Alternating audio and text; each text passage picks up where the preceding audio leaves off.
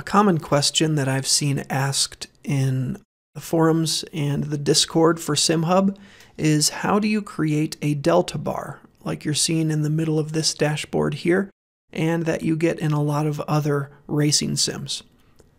There's not a built-in delta bar in the Dash Studio, but we can cobble one together. I'll show you how in this video.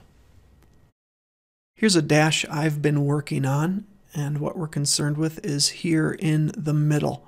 Now this delta bar is actually made up of three separate components. We have the red gauge on the left, and that's going to fill up if the driver is slower than the best lap.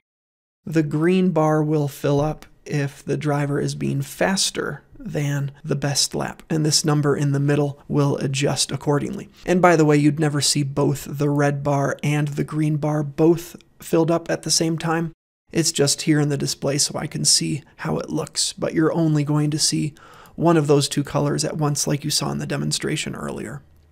Let's delete these and I'll create it from scratch.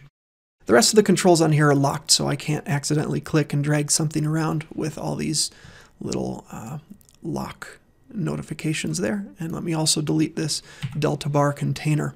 So we're going to need two linear gauges, and we can get those linear gauges here from the left. If I click on there, it will bring a linear gauge down.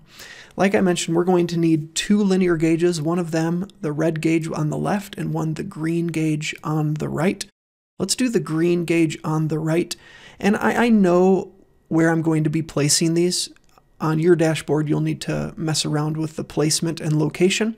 The important thing is that the left edge of your green bar matches up with the right edge of your red bar. Uh, so they meet cleanly in the middle. But I'm just going to manually enter in some, some values here. First of all, I'm going to call this my green delta bar. And I will assign it some properties here.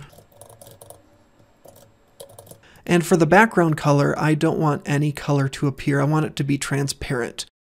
So the black background of my dashboard will come through and the only thing that will appear is the actual gauge value, which is currently red, but we'll be setting it to green. For gauge alignment, we want this to be left. When we create the other gauge, uh, that will be right aligned. And for my color, I will choose this nice forest green. You can choose a color that works for you. Now, the minimum and maximum are important to us. Since this bar is on the right-hand side, this is going to indicate when the driver is faster than their best lap. So we actually want this maximum value to be a negative number. I know it sounds strange. And the minimum number will be zero. So this will go from zero to negative 3. And that's negative 3 seconds. So if you're 3 seconds ahead of pace, it will be in the bar. If you were four, five, six, seven seconds ahead of pace, this bar would just stay filled to the edge of that. If, if you want to see a delta bar that's uh, has a 5 second, negative 5 second to positive 5 second range, you can just change this value here. And then the value here is just what displays in our Dash Studio what right when the dashboard actually runs, this will get replaced. So I'm going to put in uh, negative 1.2 just so we see some, some green appearing there. Now we're ready to add our red delta bar, the delta bar on the left-hand side. So I will click, that will bring one in. And like before, I'm going to change some properties here.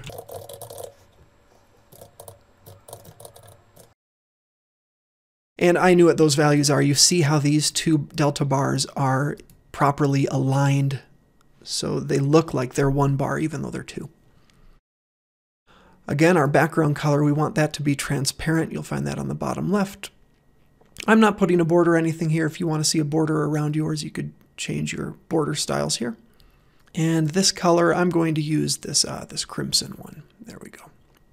Now notice that the bar is going to fill up from left to right. We don't want that. We want it to fill up from right to left.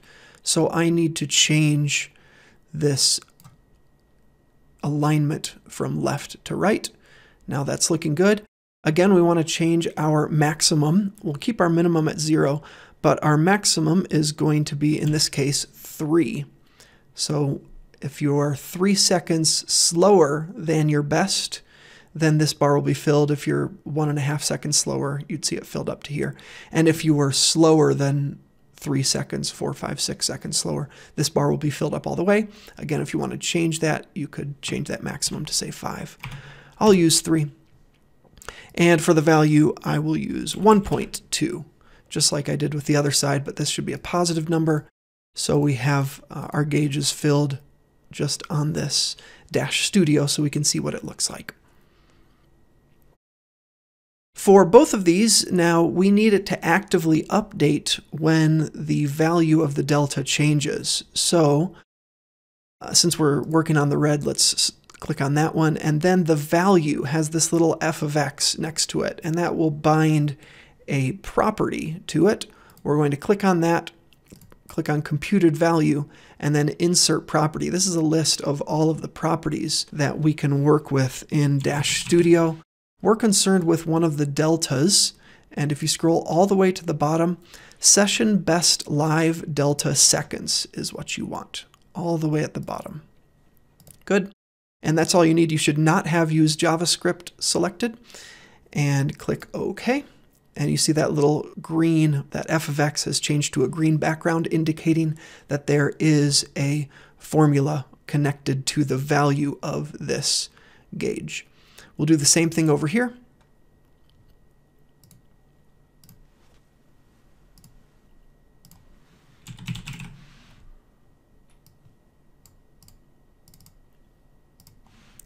Great. The last thing that we want is a number in the middle here. If you just want your delta bar to be graphical, then you would be done.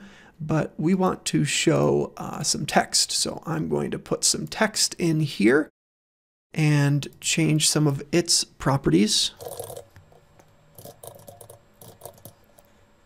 And I like this Eurostar font for dashboards. I've been using that in this particular dash. Good. And let's do 38 point font.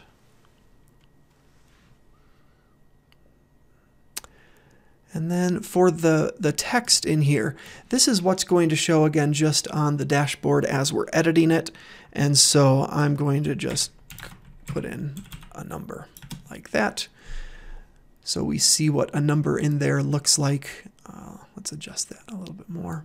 Okay, that's where my number is going to go. But just like with the delta bars, I need to associate this with a property, and I do that by clicking the f of x button next to the text property, and I'm going to select that same delta property we've been using before.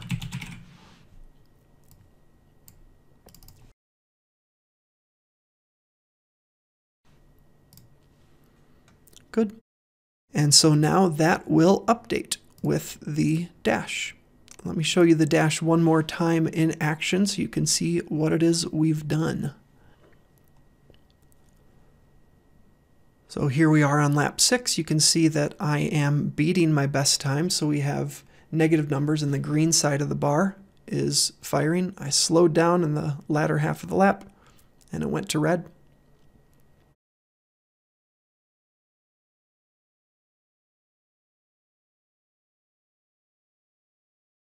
And that's how you create a delta bar in SimHub.